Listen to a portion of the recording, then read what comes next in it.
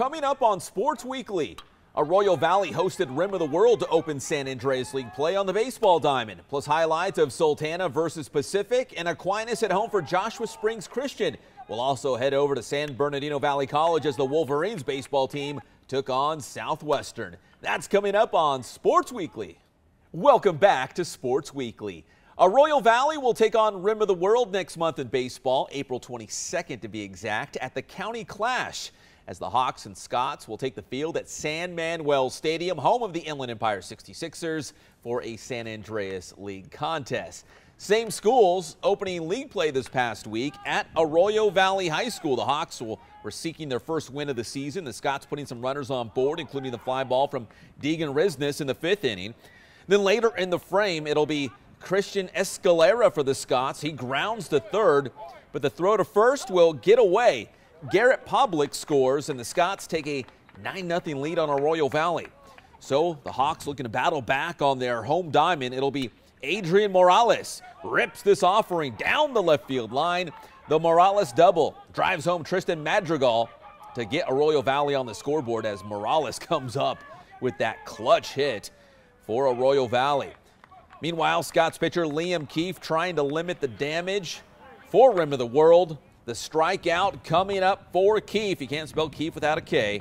But the Hawks would push across another run on this Adi Pitaway uh, dribbler past the mound.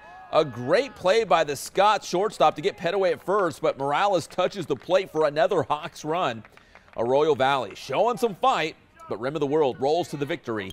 12-5 the final score in this one.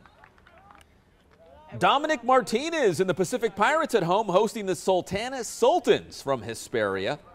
Pick things up in the fifth inning. Sultana threatening already in this one. Brian Dallas drills his ball into left field. Jared Denisi scores, and it's 7 0. Sultans on top of the Pirates. Bottom of the fifth, football standout Kyle Torres for Pacific, the tackling machine, robbed of a base hit as Sultana shortstop Nathan Ramos makes the incredible catch over his shoulder. Peter Cepeda on the bump for Pacific in the sixth.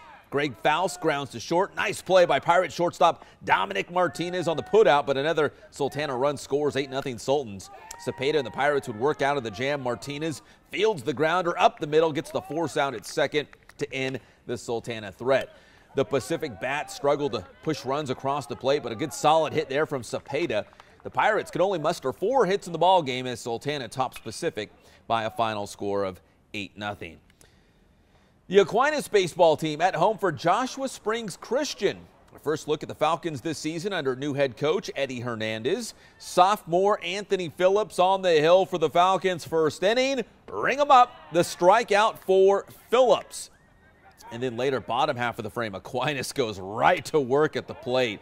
Eddie Hernandez smashing this offering deep to right center field. Jeff Ortiz will chug around and he will cross the plate to put the Falcons on the scoreboard first, one zip.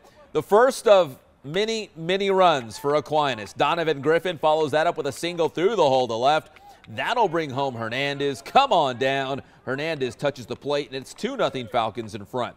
Aquinas would continue to build on that early lead versus the visiting Lightning. Steven Soloway, the football star, sends the sac fly to right. Griffin will tag up and score for Aquinas.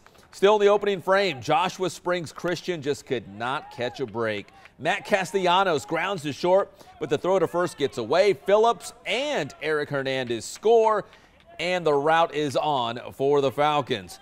Aquinas would keep the line going. This time it's freshman Elijah Hernandez roping the single to left. That'll drive home Castellanos. Aquinas rolls big time. It looked like a football score as the Falcons win by three touchdowns. That's right, 21 zip, the final score. At SBVC, former Aquinas standout Andrew Aguilera on the mound for the Wolverines as they hosted Southwestern College in conference play. Fifth inning, SBVC hanging on to a one-zip lead, and Aguilera gets the big strikeout for Valley. Let's fast forward to the sixth. The visiting Jaguars threatening once again the double into the left center field gap. Stephen Sherwood motors all the way around from first base, and he will score Sherwood going hard around the bases, and he ties the game at one. Now it's Antonio Elizalde on the hill for SBVC, but Southwestern still in rally mode. Riley Regala The sac fly to center field, and that brings home Fred Walker as Southwestern now takes a 3 to 1 lead on the Wolverines. The Jaguars would tack on one more run in the frame as Tim Biggs sends the sac fly to right field. We got a play at the plate, but Ray Peterson gets dirty at the dish and he dives in safe. Southwestern now up 4 to 1. So the Valley Bats needing to come alive in the bottom half of the frame and get those runs back. This will do the trick. Former Kaiser High School standout Toby Rainwater. It's a towering fly ball to left field. It's high off the netting and good enough for a home run. A two-run jack for Rainwater, making it four to three. Next batter, it's Brian Campos. Make it back-to-back jacks with this solo ride to left, clearing the home run line near the top of the netting. The solo blast for Campos helps SBVC pull out a big conference win at home. 5-4 the final score. The Wolverines took two of three games in their series against Southwestern. Next up is College of the Desert this week.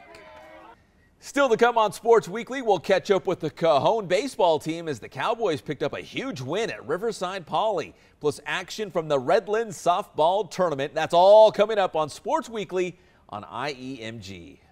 That'll do it for this episode of Sports Weekly on IEMG.